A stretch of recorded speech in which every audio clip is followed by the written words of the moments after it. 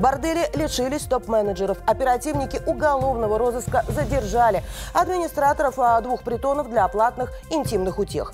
Один из них находился на Российском проспекте. Владельцы, не смущаясь, разместили рекламу сауны. Здесь остались следы визита полиции. А, Жители дома на проспекте Большевиков тоже с облегчением вздохнули после визита а, полицейских. Мне кажется, что с 13 года это здесь все происходило.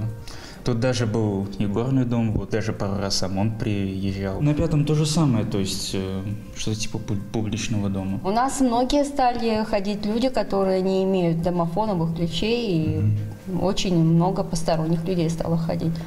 Особенно приезжих, это сразу видно. Мешало, потому что у нас дети, и, нам, у нас, и там постоянно ходили люди.